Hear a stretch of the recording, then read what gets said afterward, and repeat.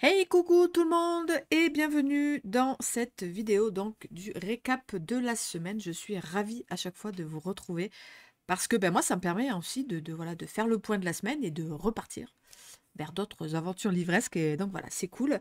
Euh, donc comme d'habitude euh, un récap axé autour de trois principales choses. Tout d'abord un blabla, euh, voilà une récap de tout ce qui s'est passé dans la team Il est bien ce livre, les lives, les Insta, etc. Euh, vous montrez évidemment euh, les réceptions. J'ai filmé, je crois que j'en ai filmé qu'un de unboxing cette semaine. Et enfin, en troisième, vous parlez évidemment de lecture. Je, on m'a proposé, c'est pas bête. Euh, ça serait bien que dans ce récap, à chaque fois, je vous parle de ma meilleure lecture que j'ai faite la semaine. Voilà, ça peut être, ça peut être intéressant. Et, euh, et, puis voilà, donc on va euh, démarrer tout de suite. Alors, une semaine qui a été encore une grosse semaine euh, de lecture avec les copains sur Twitch. C'était une semaine de vacances scolaires ici, donc j'ai pu incruster de temps en temps dans les journées des petits Read With Me. Je rappelle rapidement le contexte, on va sur Twitch, on est en live, on papote 5-10 minutes, chacun nous dit quelle est la lecture qu'il est en train de faire et bim, je lance un chronomètre, un fond d'écran, une petite ambiance et on lit comme ça pendant des sessions de 45 minutes, 50 minutes. On fait une, deux. On a beaucoup fait trois sessions. On a beaucoup fait trois fois 50 minutes et autant vous dire bah, que ça carbure, qu'on lit bien, qu'on se motive et puis ben voilà, ça avance bien dans les lectures. Donc on est ravis. Moi je crois que je suis en ce moment à un rythme de 6 livres, 5-6 livres par semaine. C'est un rythme qui me sied bien, que j'aime bien. Donc, euh, donc voilà, beaucoup, beaucoup euh, de trucs très positifs là-bas sur Twitch. Je vous remets euh, le lien évidemment en barre d'infos si vous voulez nous rejoindre dans ces lives Twitch. Et, voilà, ça c'était vraiment cool, de bonne lecture. J'ai pu enfin vous tourner un bilan lecture que vous avez en ligne depuis jeudi. Je vous remercie aussi pour tous les commentaires qu'il y a sous cette vidéo. comme quoi vous dites voilà que c'est ça, parce que c'est, on est toujours frileux hein, quand on poste un, bilan de 1h10, 1h15. Est-ce que c'est pas trop lourd et tout Puis non, là, je vois les commentaires. Non, non, ça vous a vraiment, vraiment plu. Euh, donc voilà. Et puis mardi, on a fait aussi en live la vidéo des sorties trailer qui était très chouette. Donc voilà pour tout euh, ce qui s'est passé euh, dans le monde, la team Il est bien ce livre. Voilà encore de, de très très belles choses. Et aujourd'hui donc le 30, un mois qui se termine. Euh, donc demain on relance les LC sur le groupe. Euh, les LC du lundi, je vous en parle après. Et euh, je crois qu'il y aura aussi un dernier truc dont je voulais vous parler. Oui, on me on commence, on commence à me parler du, du challenge que j'organise tous les étés. Pour ceux qui ne me suivent pas depuis, voilà, qui ont commencé à me suivre après l'été dernier. Euh, donc, j'ai créé un petit challenge, alors vraiment sans prétention, tout simple, tout bête, qui s'appelle euh, Paye ton slip. Voilà. Euh, c'est un challenge qui consiste tout simplement à essayer de faire des prédictions sur le nombre de livres que vous allez lire pendant les mois de juillet et août. Donc voilà, vous avez un petit truc, c'est vraiment tout bête. C'est un peu bébête, hein, on est d'accord. Hein, un, petit string euh, taille S, le petit caleçon, machin, et vraiment la grosse taille, euh, le gros calbut euh, XXL, si tu arrives à lire plus de 30 livres pendant ces mois de juillet-août. alors voilà, oui, c'est très très tôt, j'en parle que deux minutes ici, mais parce que voilà, on me pose déjà la question. Je sais qu'il y a beaucoup de personnes qui aiment bien s'organiser, faire des pales, etc. Donc voilà, je vous le dis, oui, évidemment, qu'il y aura encore le challenge Paye ton slip. Sauf que on est en train de discuter avec les copains et je me demande si cette année, on partirait pas sur un challenge qui durerait vraiment tout le temps de l'été, c'est-à-dire du 21 juin au 23 septembre. On est en train de voir ça, on en parle beaucoup en live. D'après les réactions d'hier dans le live, quand j'en ai parlé, tout le monde a émis un énorme oui. oui, oui, oui, on veut le faire sur trois mois. Donc du coup, je changerai peut-être euh, les tailles, genre pour avoir la taille S, du coup, sur 3 mois, ce sera peut-être 10 livres. La taille M, ça passera à 20, taille L, 30 et taille XL, 40, 45. Voilà, je vais pas euh, parler plus que ça euh, sur ce challenge qui n'arrive que dans deux mois et demi. mais voilà, juste vous dire, oui, vous inquiétez pas, il aura lieu. Voilà, du coup, je vais vous laisser avec la sève d'hier qui vous a fait donc, un petit unboxing de deux très chouettes réceptions. Je vous retrouve après pour compléter euh, les deux autres respects que j'avais reçus en début de semaine mais que je n'avais pas filmé. Euh, donc voilà, je vous retrouve tout de suite après cette petite vidéo.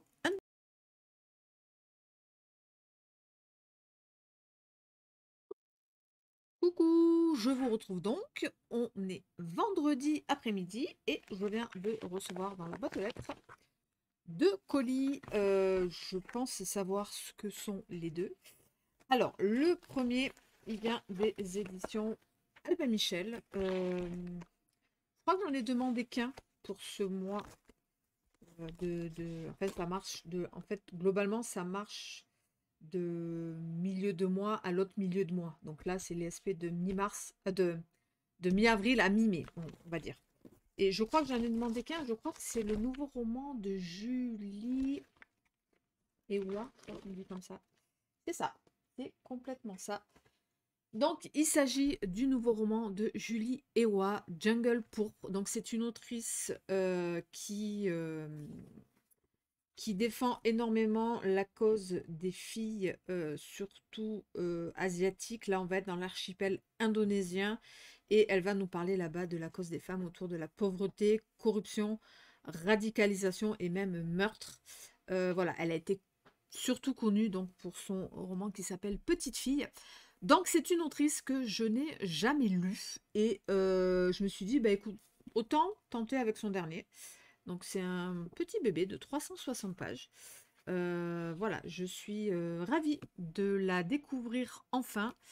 Euh, à travers ce, récit. Et euh, voilà, merci beaucoup à Albert Michel pour cet envoi. Et ensuite, celui-là. Alors déjà, on en parle de, euh, de l'emballage. franchement, les, maisons d'édition font plus d'efforts que moi. Niveau emballage, c'est nickel. Donc vous le voyez, c'est les éditions 10-18. Et si vous avez regardé ma vidéo des sorties thriller de mai, peut-être que vous savez de quoi il s'agit. Donc, on va être dans du polar historique d'une autrice que j'ai déjà lue dans cette collection, que j'avais beaucoup aimé. Je pense que c'est pour ça que la maison d'édition m'a sollicité pour ce titre-là. Et je crois que ça va être une beauté. Ça va être une beauté de livre.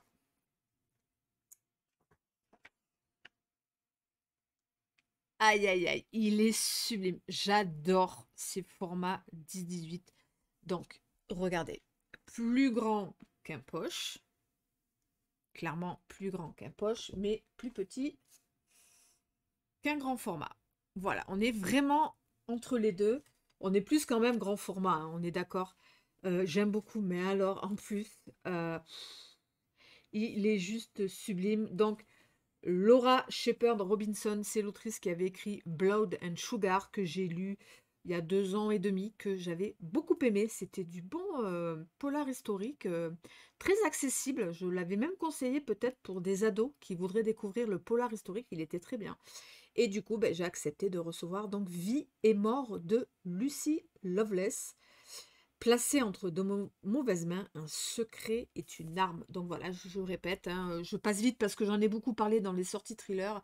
Donc on est dans Londres du 1782. Euh, par une nuit d'été, Caroline voit l'une de ses amies agoniser dans ses bras et les derniers mots qu'elle lui dira, c'est « il sait euh, Caroline comprend euh, bientôt que son amie lui a menti. En effet, Lucie, donc l'amie qui est morte, était en fait la prostituée favorite d'un club d'hommes très puissants de Londres. Ben, lorsqu'il apparaît que magistrats et notables ont davantage intérêt à étouffer le crime qu'à le résoudre, Caroline va engager Peregrine Shield, qui est un, un voleur, je crois, pour trouver l'assassin de Lucie. Il fouillera jusqu'au profond de la société géorgienne au cours d'un univers fait d'artifices, de tromperies et de vie secrète. De désillusion en hypocrisie, Caroline lèvera le voile sur tout un monde, celui où les hommes peuvent emmener de belles courtisanes au théâtre et coucher leurs fils adultérins sur leur testament. Un monde où les femmes, elles, payent de leur honneur tous les désirs dont elles font l'objet jusqu'à y perdre la vie. Donc voilà, sublime ouvrage. Je précise quand même à toute fin utile que le petit mot que c'est quand même un ouvrage qui est proposé à 23,90 euros. Je pense que c'est quand même important de le préciser. Voilà, Blood Sugar depuis, il est sorti en poche. Euh, voilà, gros bébé quand même qui fait 570 pages, quand même. Mais euh, voilà, je, suis sûre que ça va le faire. Et pour info, tiens, elle a mon âge, Laura, elle est née en 76. Pour info, il sortira, je l'avais dit dans la vidéo, hein, euh, il sort le 5 mai, voilà, dans quelques jours. Donc voilà, je suis super ravie et je pense qu'il sortira bientôt de ma palle. Et, et voilà pour les deux belles réceptions de jour dans vraiment deux genres différents. Donc ça, c'est super. on le dit souvent, hein, pour, pour avoir un bon rythme de lecture, c'est cool de, de, changer un peu les genres, même si on peut rester dans le thriller, le policier, le roman noir.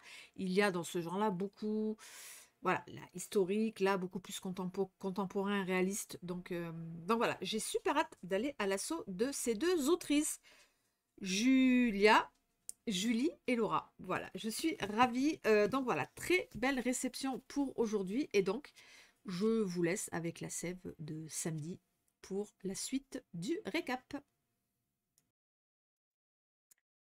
Et donc, me revoilà.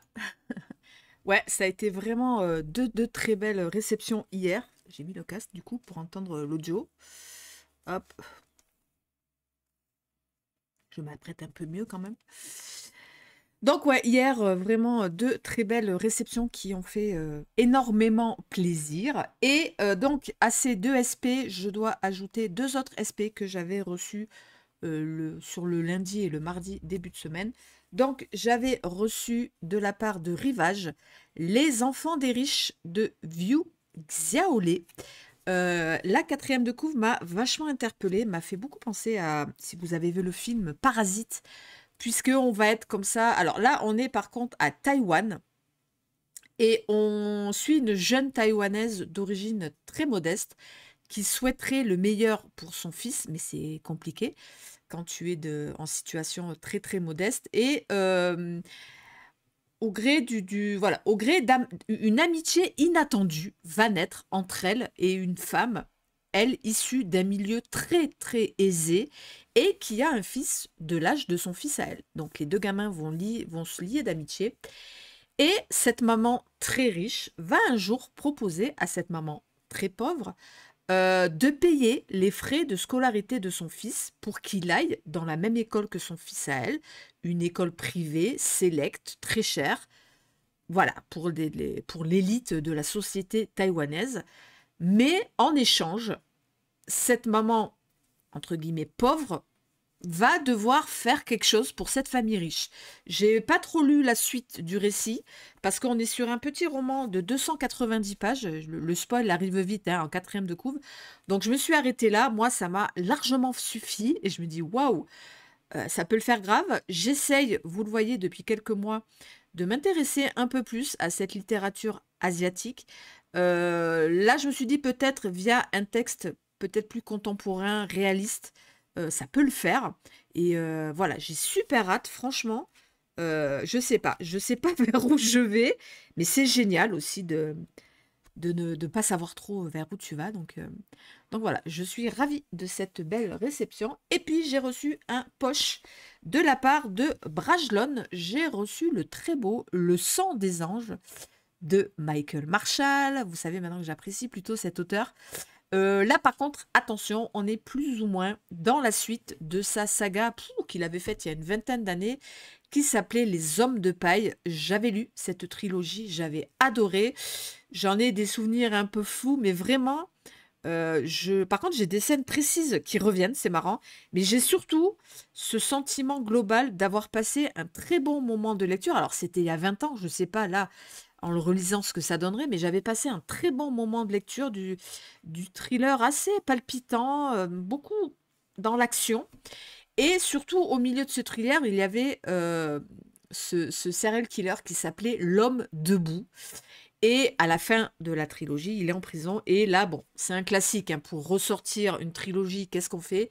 Ben, L'homme debout, qui était en prison, a réussi à s'évader. Donc voilà, ça va relancer l'histoire on va, alors je ne sais plus le prénom des gens, donc je ne sais plus si on retrouve des personnages de l'ancienne saga, je sais pas. moi, je pense qu'honnêtement, quand même, la saga Les Hommes de Paille va être assez présente dans cette lecture. mais voilà, je me faisais vraiment, vraiment une joie de revenir dans cette ambiance de la saga des Hommes des Pailles. c'est un beau bébé de 450 pages quand même. Et donc voilà, merci beaucoup aux éditions Brajlon. Je crois que c'est le seul que j'ai demandé pour ce mois-ci. Il m'avait zappé le mois dernier. J'ai pas reçu les deux bouquins que j'avais demandé. Bon, je suis pas allée les relancer, c'est pas très grave. En plus, je crois que ma copine Céline est en train de le lire. C'est Lune Rouge et je crois qu'elle aime pas trop. Donc je me suis dit, bon, c'était un signe qu'il fallait pas que je reçoive. Euh, donc voilà, celui-là, je suis extrêmement ravie. Donc voilà pour les quatre SP reçus de la semaine. Donc jusque-là, ça allait plutôt bien, hein, niveau euh, réception. Hein, 4, 4 mois, c'est cool sur une semaine. Mais ça, c'était avant. Ça, c'était avant le drame. C'était avant le drame. C'est quoi le drame dans ma vie? C'est quand je amène mes enfants à l'orthodontiste. Qu'est-ce qui se passe quand nous allons à l'orthodontiste? Eh bien, juste à côté, il y a, vous le savez, enfin, juste à côté, dans la même ville, on va dire, il y a ce fameux Leclerc Occasion où à chaque fois, c'est euh, un énorme suspense parce que euh, j'y suis ressortie parfois les mêmes vides. Euh, parfois, j'y suis allée où peut-être il n'y avait pas eu d'arrivage et il n'y avait pas eu grand-chose. Et là, quand je suis rentrée, le vendeur, il me connaît maintenant. Il sait que je viens pour les livres. Il me dit, ah madame, je crois que vous allez être contente. On a dû rajouter des tréteaux et une planche carrément au milieu du truc parce qu'il y a eu un gros arrivage livre. Et là, tu as vu mon rythme commencer à s'accélérer. Enfin, précipité, je ne me suis pas non plus précipité, mais j'ai accéléré, le rythme. Et effectivement, quand je suis arrivée au rayon, ah, alléluia, c'était le paradis sur terre. Donc avec Emma, on s'est régalé. Emma, elle a pris trois livres, je les ai plus là. Euh, elle a repris un marais calter, elle a repris euh, non, Marguerite Duras, c'était l'autre fois. Non, c'était la Marguerite? Non, c'était l'autre fois Marguerite Duras. Elle a pris euh, celui qui a écrit Cent ans de solitude. Gabriel Marquet, je vais me rappeler. Et qu'est-ce qu'elle a pris en troisième? Euh, Je sais plus. Bon, bref, Emma, elle s'est pris trois livres. Et moi, j'ai fait franchement de bonnes trouvailles. J'ai surtout trouvé des bouquins qui sont dans ma wishlist. Et toi-même, tu sais que c'est ça, c'est génial. Quand tu trouves des livres d'occasion qui sont dans ta wishlist, c'est super. Alors, j'ai d'abord pris ce roman de Richard Montanari qui s'appelle Funérailles. C'est un beau euh, grand format au cherche Bon, alors, je ne vais pas vous reparler des prix. Les grands formats sont. Alors, ça dépend euh, leur date. Les tout récents, j'ai vu des grands formats quand même qui étaient à 5-6 euros, les récents, mais la plupart sont à 1,50, 2 euros. Euh, donc dans ce roman, on retrouve un, couple d'enquêteurs, voilà, les enquêtes de Byrne et Balzano. Donc c'est un, duo que l'on retrouve dans les romans de Montanari, mais moi je reste toujours persuadée que, ça dépend lesquels, mais euh, ça reste lisible, les thrillers, quand tu n'as pas lu toute la saga. alors oui, je vais passer à côté certainement de choses privées de la vie de euh, Burn et Balzano, mais c'est pas bien grave parce que la l'enquête m'a hypé puisqu'on est avec euh, deux petites filles euh, qui, en rentrant de l'école, elles doivent passer par un bois, le bois de Fairmount Park. et ce jour-là, elles ne vont jamais ressortir du bois, on ne va jamais les retrouver. Et le roman commence dix ans plus tard, où on va retrouver justement au bord de ce bois le corps amputé d'une jeune femme. Donc on va appeler Bern et Balzano, ils vont muter l'enquête et on va se rendre compte que peut-être ce cadavre de jeune fille, ce membre amputé, ça a peut-être un rapport avec la, disparition des deux petites filles dix ans plus tôt. Et euh, donc là, ils nous disent on va clairement partir un peu dans un colcaise. Hein, euh, bah, dix ans, oui, c'est un colcaise. Et euh, je me fais une joie, franchement, voilà, c'est bien, je cherche midi, j'aime bien, c'est des, gros, des gros chapitres comme ça. Et je suis très, je suis vraiment, vraiment ravie. Voilà, ils nous disent chaque flic a son affaire non résolue, un crime qui le hante à chaque instant, qui le harcèle dans ses rêves. Euh, donc voilà, et, lui, euh, donc les enquêteurs vont partir dans cette histoire-là. Attendez, je fais une place pour pouvoir les mettre à côté. Là, voilà. Vous voyez la pile? Ensuite, une fois de plus, un grand format. Il est magnifique. Je, me demande parfois s'ils ont été lus. Celui-là, honnêtement, Euh, je suis pas sûre qu'il ait été lu. Je sais pas, ça se sent à la flexibilité des pages. Putain, il était aussi à 1,50 quoi. Donc j'ai pris le très beau, la dernière trace de Charlotte Link. Là aussi, le truc m'interpelle. On est avec une jeune femme qui est assez casanière, qui aime pas trop sortir de chez elle. Mais là, euh, c'est euh, le mariage d'une de ses meilleures amies. Euh, donc elle fait un effort. Elle va pour prendre l'avion. Mais voilà, ce jour-là, l'avion brouillard. brouillard complet. Elle ne peut pas prendre l'avion. Et il y a un... Ça se passe en Angleterre. Hein. Il y a un, un londonien qui va proposer de l'héberger. Et comme ça, elle pourra prendre elle pourra prendre euh, un autre avion le lendemain. Le problème, c'est que euh, donc Hélène va accepter. On ne, le, on ne la reverra plus jamais. Et le roman se passe cinq ans plus tard, donc Hélène n'est pas réapparue.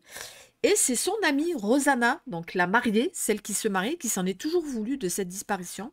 Elle est journaliste et justement, elle est en train d'écrire une série d'articles sur les disparitions inexpliquée et évidemment c'est l'occasion pour elle de savoir enfin ce qui est arrivé à Hélène. Euh, la journaliste est loin de se douter qu'en s'engageant dans cette enquête, elle va se mettre en danger de mort. Voilà, je sais pas, il y a un truc qui m'a hypé, euh, un petit, un simple roman à suspense sur la disparition, ça peut le faire, il est divisé en deux parties. Euh, voilà, je suis très curieuse. Il est, putain, le bouquin est magnifique et voilà, je suis vraiment ravie de cette découverte. Après, je passe rapidement. J'ai trouvé, j'en suis hyper ravie. Donc ça, c'est un qui était dans ma wishlist. Bah, je continue à acheter hein, les, enquêtes, les enquêtes d'Erlandur de euh, l'Islandais Arnaldur Indridansson. Vous savez, je surkiffe cette saga, je surkiffe ce personnage d'Erlandur. J'en suis, j'en ai lu quatre des tomes. Donc voilà, dès que j'en trouve un, euh, ça, ça doit être le huitième, le septième ou le huitième. dès que j'en trouve un, je l'ai pris. Et là, comment vous dire qu'en super bêta à 1 euro, je me suis pas gênée, donc je suis ravie d'avoir trouvé celui-ci de ma wishlist. Un autre, alors, il était plus ou moins dans ma wishlist. Je l'avais commencé en audio. Euh, je me régalais, franchement, à l'audio. Mais moi, vous savez, les audios, je m'en sers surtout pour... Euh, je ne peux pas, moi, écouter tout un bouquin en, audio. Mais j'aime bien parfois, quand j'arrive pas à me lancer dans un bouquin, ben, ça me permet de, de tenter et de me laisser peut-être embarquer plus facilement. Et ça avait été le cas avec ce roman, et je m'étais dit, tiens, si je le trouve d'occasion, je me le prendrai en livre, je le continuerai en livre, et ben voilà, ça a été le cas. Attendez, j'essaie de monter l'intensité, voilà. Ça a été le cas, je l'ai trouvé, donc je me le suis pris. Il s'agit donc de La part de l'autre d'Éric Emmanuel Schmitt. Euh, donc dans ce roman, je pense que vous le savez tous, hein, on est dans une espèce d'uchronie où Éric Emmanuel Schmitt imagine que euh, en ce 8 octobre 1908, alors que Adolf Hitler vient de euh, passer son examen pour rentrer aux Beaux-Arts de Berlin. Vous savez qu'il a échoué, il a même tenté deux fois, il a échoué les deux fois. Et là, Eric Emmanuel Schmitt imagine que il a réussi. Il est pris, il rentre euh, à l'école des beaux-arts de Berlin, non, de Vienne, pardon, à l'école de beaux-arts de Vienne. Qu'est-ce qui se serait passé? Il s'imagine ça et souvent dans des uchronies comme ça, enfin c'est pas vraiment des uchronies, euh, où on imagine que, voilà. Euh, souvent, je pense que les auteurs essaient d'imaginer si finalement il avait fait les beaux-arts, est-ce que euh, Hitler aurait quand même fait ce qu'il a fait voilà, ce qu'on sait ce qu'il a fait après. Est-ce qu'il était vraiment destiné à faire ça? Je trouve ça super intéressant. J'avais un petit peu peur, mais honnêtement, l'audio le, m'a vraiment convaincu. En plus, j'ai une, une, abonnée qui est passée nous en parler en live, lors d'un live participatif euh, sur Twitch. Elle a adoré. Et euh, elle a vu fortement conseillé. Donc voilà, quand je l'ai vu, j'ai dit waouh, super. Alors, il n'était pas forcément dans ma wishlist, mais il était là. Je me dis, voilà, si un jour je le trouve d'occasion, je le prends. Et c'est le cas. Ensuite, un roman à suspense. Alors, je savais que ce roman-là, il, est, il venait des éditions Hauteville, euh, aka euh, Milady, c'est pas du tout le genre de, voilà, c'est du roman à suspense dont je suis pas vraiment le public. Mais là, le, la quatrième de couve, elle m'a un peu titillé puisqu'on est quand même avec, on est à Chelsea, donc en Angleterre, euh, et on va découvrir euh, dans une maison trois cadavres d'adultes. Et au milieu de ces trois cadavres, un bébé. Un bébé qui, lui, est vivant. Et euh, on est donc 25 ans plus tard. Ce bébé a grandi, elle a 25 ans, elle s'appelle Libby. Et pour ses 25 ans, elle va hériter de cette maison où on l'avait retrouvée bébé. Et voilà, je veux pas en savoir plus. Alors, je me suis souvenu que ce roman, quand il était sorti en grand, format, les copines qu'il avait pris en, SP euh, chez Hauteville, euh, il n'avait pas eu de bons retours. Mais voilà, il fait 350 pages, 1,50€ pour cet été. Euh, je me suis dit, ça peut peut-être le faire. S'il ne me plaît pas, au bout de 50-60 pages, eh ben, je le poserai. Il partira chez Mamie Jocelyne. C'est pas très très grave, mais quand même, le, début de l'histoire m'a un petit peu titillé. Ensuite, du thriller, enfin du thriller, non, du roman policier euh, historique. Donc, j'ai trouvé un Jean Délon, La danse macabre, en super état. Franchement, pour un euro, euh, c'est dur à résister. Hein. Donc, on est encore avec le duo euh, Holmes et Watson. Donc, c'est un peu une parodie de, de Sherlock Holmes et Dr. Watson. Là, ce qui m'a titillé, c'est qu'on est en 425. On va retrouver des morts qui tournent autour des fresques de la danse macabre. J'adore ces fresques de la danse macabre. Et du coup, euh, voilà, on va aussi au milieu de ça. Euh, bon, pareil, je sais pas si ça va le faire. Il est gros par contre, 524. Mais honnêtement, voilà, pour un euro, euh, je suis quand même contente. Ces éditions 10-18, en plus j'adore, donc voilà, je suis ravie. Et alors, les pépites. voilà, j'ai vraiment eu énormément de bol. Même les copains m'ont dit que quand je les montrais en live que c'était rare de trouver comme ça des bouquins comme ça d'occasion dans des magasins d'occasion. Je me suis précipitée parce que j'ai donc trouvé les deux tomes. Donc, c'est euh, compliqué, les Brandon Sanderson. Hein. Il faut d'abord lire les deux tomes des archives de Rochard, que moi, ils sont, ils sont là. Voilà, vous avez les deux tomes là. Là, c'est euh, Skyward. Et là, vous avez le tome 1 et le tome 2 des, euh, des archives de Rochard que je n'ai toujours pas lu. Donc, on va dire c'est le cycle 1 des archives de Rochard. Et donc là, c'est le cycle 2 des archives de Rochard. Ça s'appelle le livre des radios. Des radieux, ils sont en super bêta, franchement. Et donc bah là, je les ai payés un peu plus cher, mais franchement, à 2,99€. Alors, le, le tome 2 était un peu plus cher. 3,99€. Mais franchement, 7 euros pour les deux, euh, dans un état impeccable. 7 euros les deux, bah, au lieu de. Ils sont quand même à 11 euros à la base. Hein. Ils sont à 10,90. Hein, donc 7 euros au lieu de 22. Euh, je pense que j'ai fait quand même une affaire. Euh, bon, le truc, c'est qu'il va quand même que falloir que je lise le tome 1 si ça me plaît. Hein, mais Brandon Sanderson, normalement, ça passe. Euh, donc je pense que pour ce mois de mai de la fantasy, je lirai le tome 1 des archives de Rochard. Et je suis mais trop méga contente. Et me tardez de vous le montrer pour les faire rejoindre là-haut. Et Waouh, là, ça a été vraiment la belle trouvaille de ce, petit passage au Leclerc Occasion.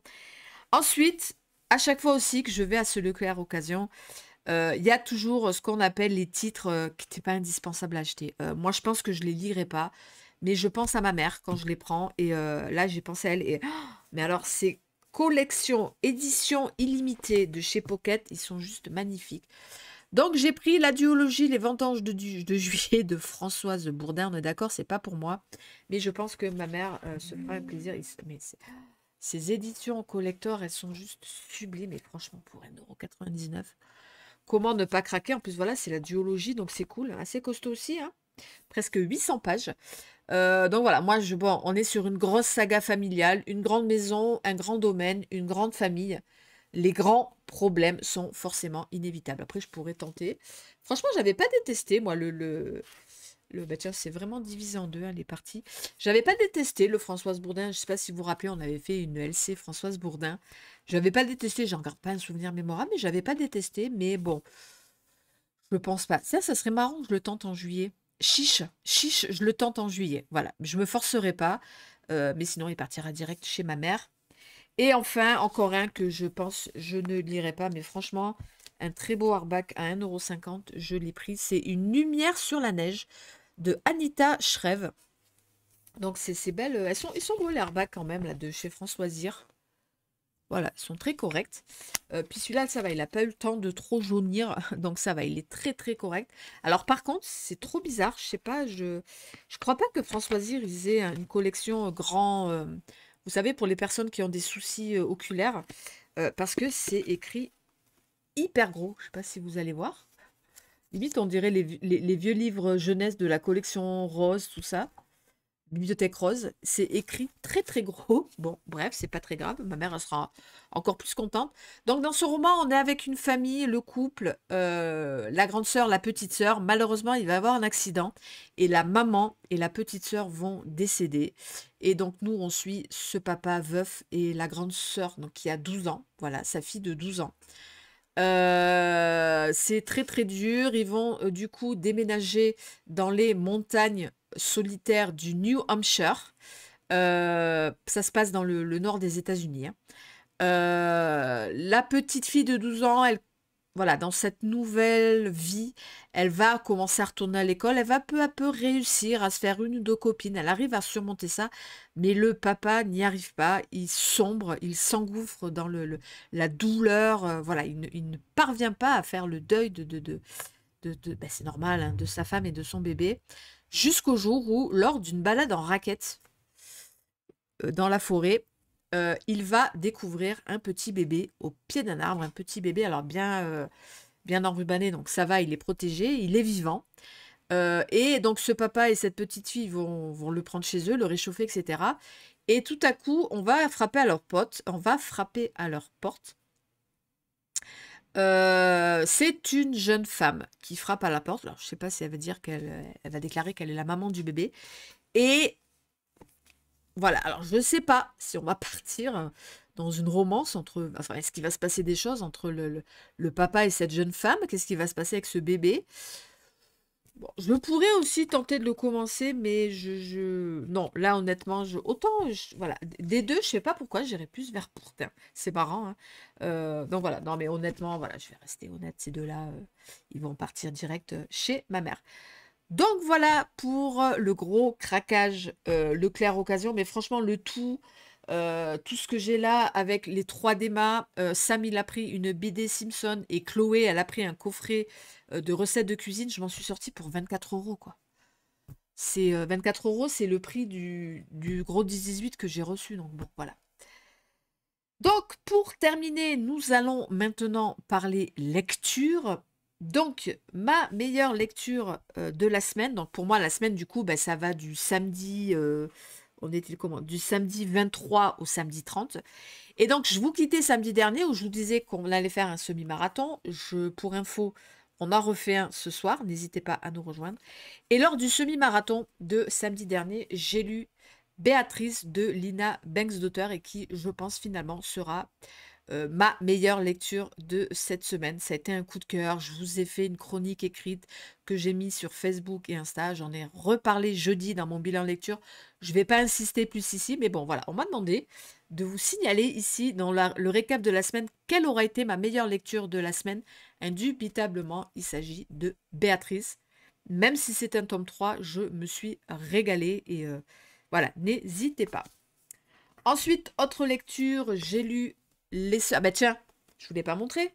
Je l'ai acheté aussi au Leclerc Occasion. Je m'étais fait du coup un aussitôt lu, euh, aussitôt acheté, aussitôt lu, parce que vous allez voir après que j'ai eu quelques problèmes avec d'autres lectures. Je pataugeais un peu, je savais pas où aller.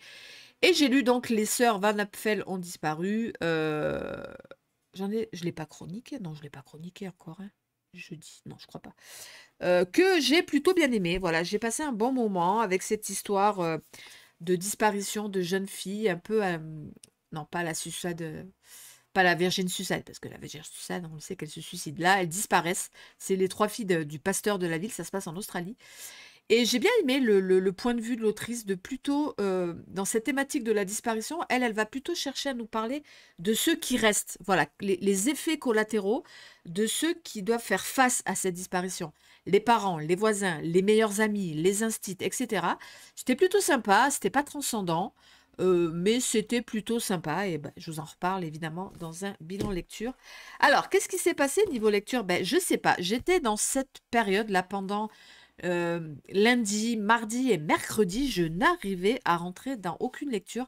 Vous savez, ces périodes à la con, là, où tu lis 40-50 pages, ça le fait pas. T'en prends un autre. 40-50 pages, ça le fait pas. T'en prends un... Bon, je vais y arriver à rentrer dans une lecture.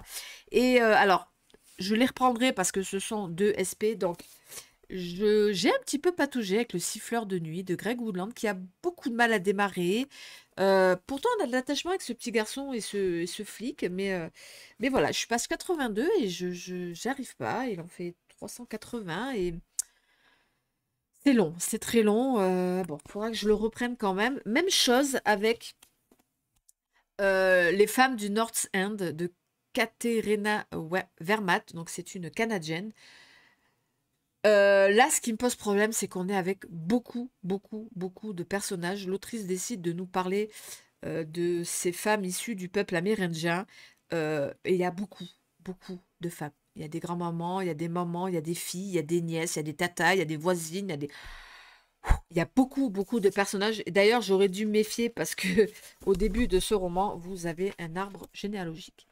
Et moi, ça me fait peur. Moi, ça me fait peur quand il y a... Parce que je me dis, bon, si l'auteur et la maison d'édition ont estimé qu'il fallait mettre un arbre généalogique avec tous les personnages, c'est que le lecteur va être peut-être un peu paumé, et c'est le cas. Je suis franchement paumé.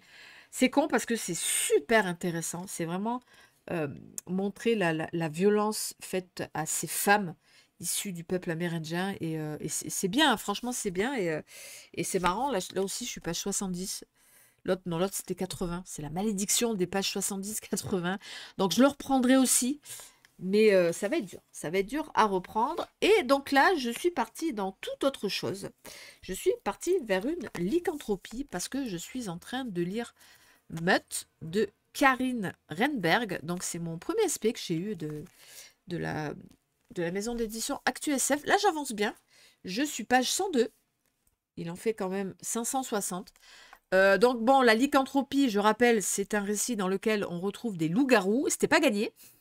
C'est pas un genre que je maîtrise. Euh, euh, je, ne maîtrise pas les codes du genre, le truc des alpha, bêta, machin.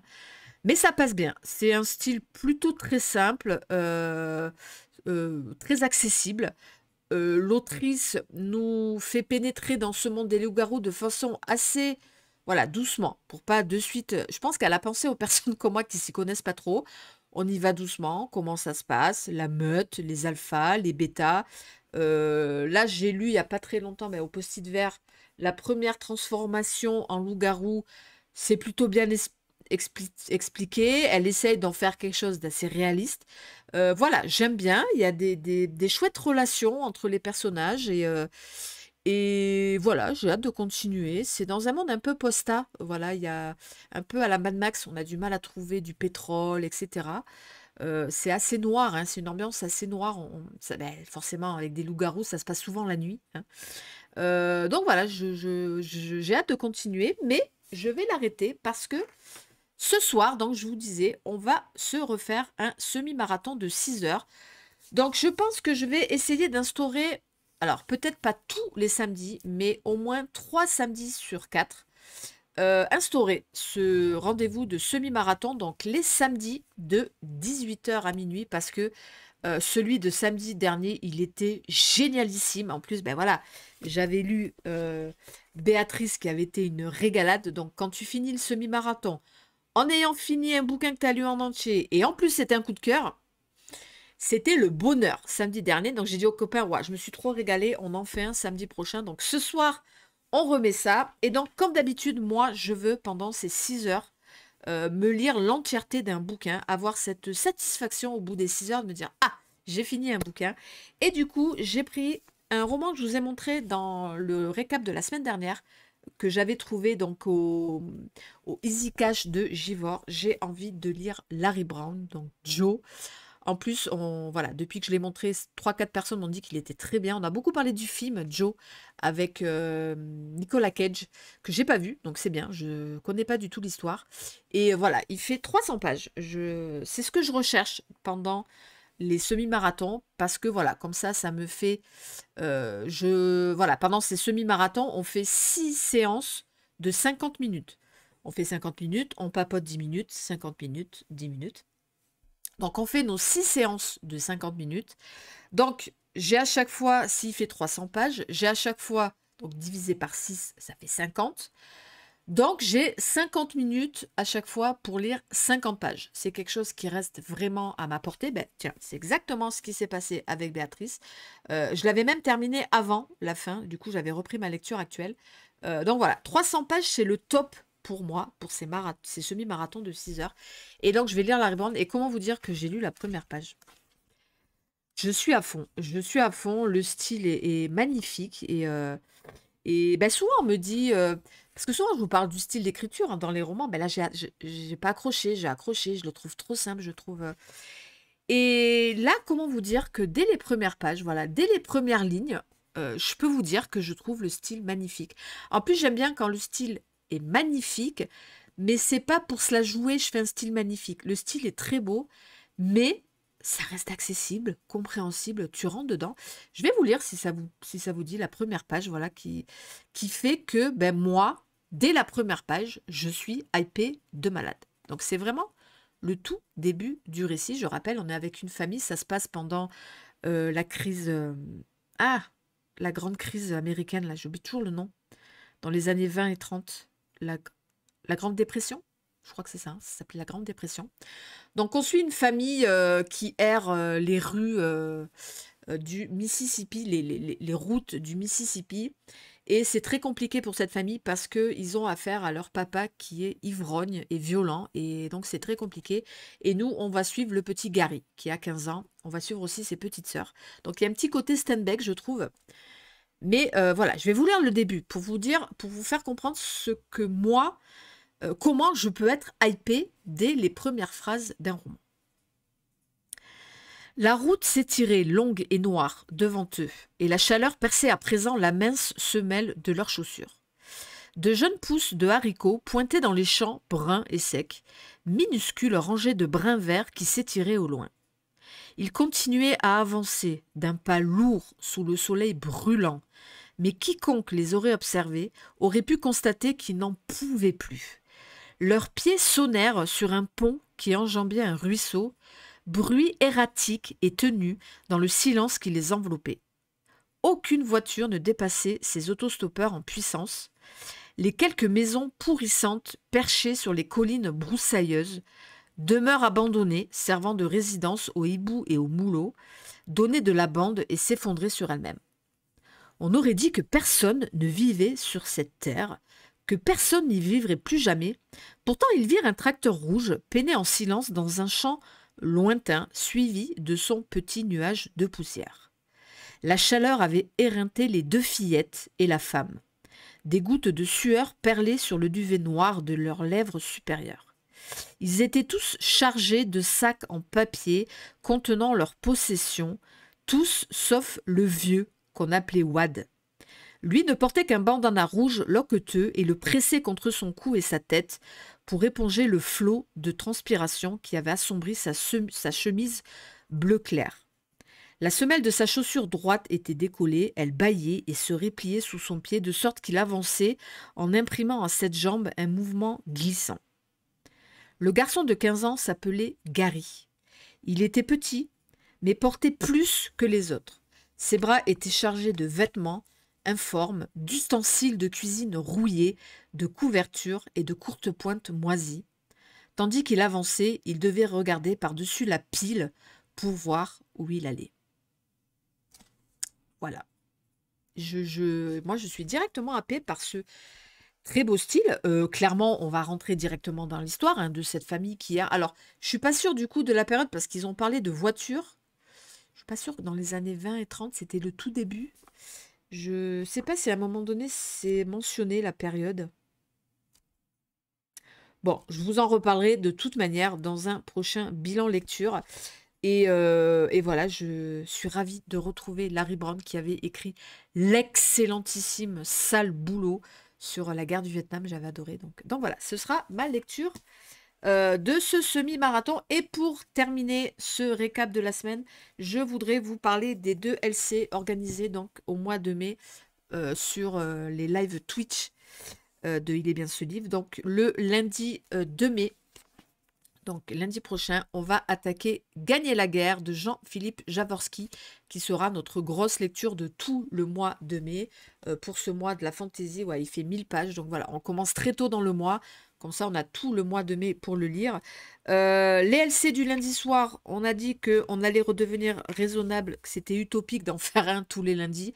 Donc on va partir sur un lundi sur deux. Et donc celui-là, le lundi de mai. Et du coup, pour le lundi 16 mai, on partira dans la lecture de Batman de Dathan Oerbeck. Vous savez, pour moi, ce sera une relecture. J'ai très très hâte de redécouvrir cette histoire. Donc voilà les deux LC qu'on va organiser euh, les lundis 2 mai et 16 mai euh, en live les lundis soirs sur Twitch. Comme d'habitude, je vous mets le lien. Si ça vous dit, si vous les avez dans vos pales, que vous n'arrivez pas à les sortir, c'est le but aussi hein, de CLC, ben, n'hésitez pas à les commencer avec nous euh, pendant le live et après chacun voit s'il continue ou pas. Donc voilà, est-ce que je vous ai tout dit? Je crois euh, que je vous ai à peu près tout dit. Je vous ai montré toutes mes réceptions. Je vous ai parlé de mes lectures actuelles, de ceux que je vais lire. Donc voilà, n'hésitez pas. Là, il est 15h. Donc dans 3 heures, on démarre le semi-marathon sur Twitch. On va donc lire 6 heures non-stop. Alors pour info, attention, c'est vraiment pas un live de blabla. On déconne pas. On est là pour lire. Donc on lit vraiment pendant 6 heures. N'hésitez pas, il y a vraiment une bonne ambiance et vraiment c'est très studieux. Voilà, on est vraiment là pour lire, on va avancer dans nos lectures. Donc c'est vraiment le principe euh, de ces semi-marathons. N'hésitez pas à nous y rejoindre. Sur ce, je vais vous laisser. On se, retrouve quand ici sur YouTube? Je sais pas. Euh, je sais pas du tout. Euh, j'aime bien vous faire une vidéo le mardi. Euh, donc voilà, il n'y aura pas de bilan lecture, hein, puisque ben, j'en ai, lu que, deux, donc ce sera un peu trop tôt. Bon, je ne sais pas. On se retrouve en tout cas la semaine prochaine pour une nouvelle vidéo. Et donc là, je vais vous laisser. Je vais vous souhaiter un excellent week-end. Et puis, ben, forcément, comme d'habitude, je termine ma, ma vidéo en vous souhaitant d'avoir d'excellentes lectures. Merci à vous d'avoir suivi cette vidéo jusqu'au bout. Et je vous dis donc à une prochaine. Bye bye.